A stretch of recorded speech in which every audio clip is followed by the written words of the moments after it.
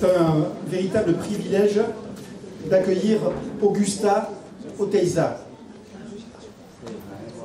Elle est née, elle me dit qu'elle est là. Elle est née le 3 mai 1912 dans les Landes, plus précisément à Coneille. Rien que ça, ça vaut des applaudissements. «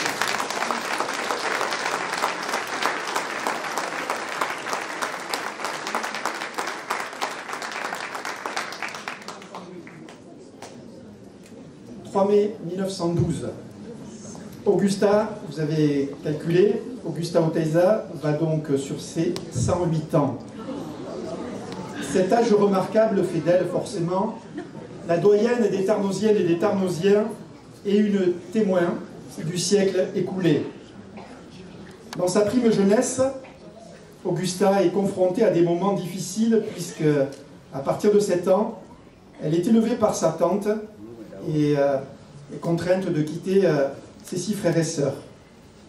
Le 3 août 1935, elle épouse Georges Oteiza à Anglette. Ensemble, ils ont eu six enfants. La famille euh, n'a depuis cessé de s'agrandir. Ces six enfants lui ont donné neuf petits-enfants, qui eux-mêmes lui ont donné 19 arrière-petits-enfants.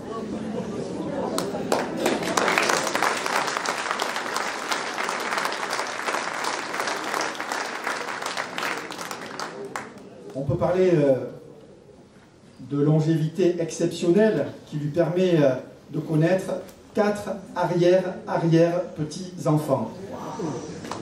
Forcément, chaque année, les fêtes de Noël sont l'occasion de réunir autour de la matriarche toute cette grande famille, ici même à Tarnos, dans la maison de sa fille euh, Solange et de son gendre René Daguerre.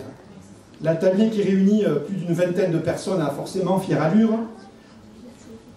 Tout au long de sa vie, Augusta s'est beaucoup occupé de ses enfants. Après tout, se consacrer à l'éducation de six enfants est un sacré travail. Bien plus tard, lorsqu'une de ses filles est partie travailler en région parisienne, elle a aussi pris soin de quatre de ses petits-enfants qui étaient alors adolescents. Ah. Deux, pardon. Augusta n'a pas à proprement parlé une carrière professionnelle, mais elle accomplit un certain nombre de petits boulots, comme des ménages ou des saisons à la limonaderie. Augusta et son époux ont habité Bayonne, aux allées marines. Elle a aussi euh, vécu euh, juste à côté, à Anglette. Dans cette ville, elle s'est beaucoup investie dans les associations du troisième âge et notamment au club des Cigales, dans le quartier euh, de Blampignon, qui est situé de l'autre côté de l'Adour, par rapport à Tarnos. Un grand nombre de personnes qu'elle a côtoyées à cette époque la connaît, ou la connaissait encore sous son surnom de Zaza. Par la suite, elle est venue donc vivre à Tarnos. Elle a d'abord vécu 7 ans dans un appartement, c'est-à-dire jusqu'à ses 100 ans. Pour la petite histoire, cet appartement n'est pas n'importe lequel puisqu'il a été fait par un petit-fils d'Augusta, tout spécialement pour sa grand-mère. À l'âge de 100 ans, elle a fini par venir habiter dans la maison de sa fille et de son gendre que, j'ai évoqué dans le quartier Castagné à Tarnos. Du haut de ses 107 ans, Augusta n'est jamais malade.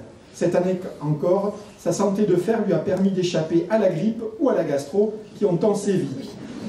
Chaque année, elle participe sans problème et toujours avec entrain au repas des aînés qui se déroule pendant les fêtes de Tarnos. Quel plaisir d'honorer ainsi ce soir la doyenne des Tarnosiennes et des Tarnosiens et de lui remettre la médaille de la ville.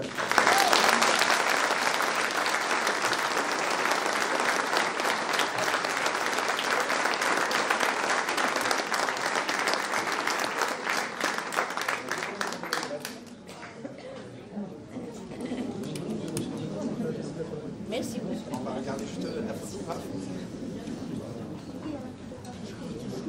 Merci, monsieur.